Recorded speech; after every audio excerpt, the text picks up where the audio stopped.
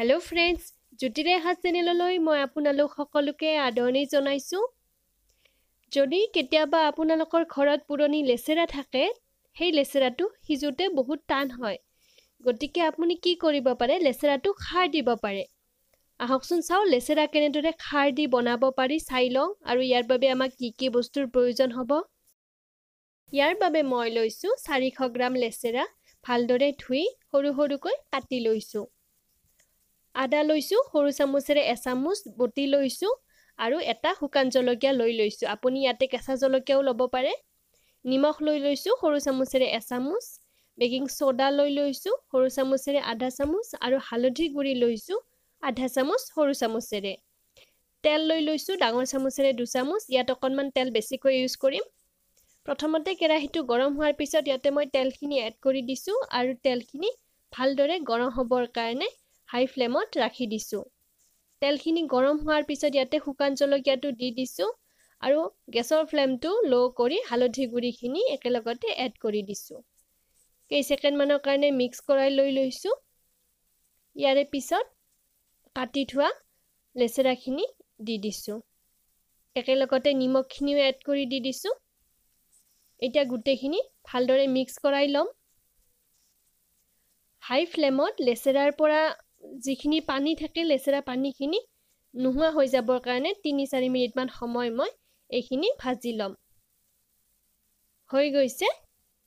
এতিয়া গেছৰ ফ্লেমটো ল' কৰি ৰাখিছোঁ আৰু ল' ফ্লেমত চ'দাখিনি মই ইয়াতে দি দিছোঁ।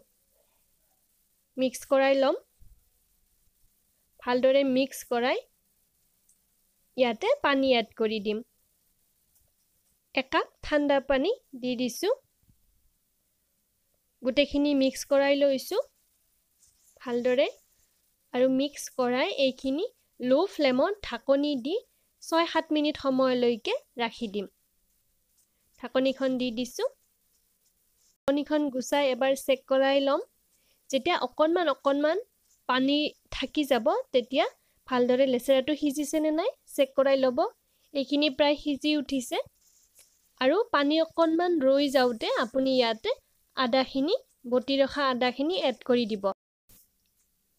আদাটো আপুনি আগতেও দি দিব পাৰে কিন্তু খাৰত আদাটো কেঁচা ফ্লেভাৰটো আদাৰ থাকি গ'লে অকণমান ভাল লাগে সেইকাৰণে মই পিছত দি দিছোঁ। গোটেইখিনি ভালদৰে মিক্স কৰাই আকৌ পুনৰ ঢাকনি দি পানীখিনি নোহোৱা হৈ যাবৰ কাৰণে চাৰি মিনিটমান সময়ৰ কাৰণে মিডিয়াম ফ্লেমত ৰাখি দিম। ঢাকনিখন গুচাই ৰাখিছোঁ।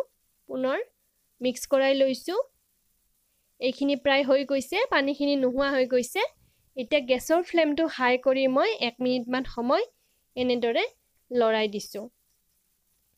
হৈ গ'ল গেছটো অফ কৰাই লৈছোঁ। ইয়াৰে পিছত মই কেৰাহীটো অকণমান বেকাকৈ ৰাখি দিছোঁ যাতে ইয়াৰে পৰা এক্সট্ৰা অইলটো ৰৈ যায়। কাৰণ ইয়াতে আমি অকণমান বেছিকৈ তেল ইউজ কৰিছিলোঁ। এয়া চাওক দেখিব পাইছে? তেলখিনি এক্সট্ৰা হৈ ৰৈ গৈছে। লেচেৰা খাৰ দিয়া বহুত কম সময়ৰ ভিতৰতে তৈয়াৰ হৈ যায় আৰু বহুতে টেষ্টি হয়। আপুনি এই ৰেচিপিটো নিশ্চয়কৈ এবাৰ ট্ৰাই কৰি চাব। আৰু কেনেকুৱা পালে মোক জনাবলৈ একেবাৰে নাপাহৰিব। মোক কমেণ্ট কৰিব। লগতে মোৰ ভিডিঅ'টো যদি আপোনালোকে ভাল পালে তেতিয়াহ'লে লাইক কৰিব নাপাহৰিব। এতিয়ালৈকে আহিছোঁ। ধন্যবাদ।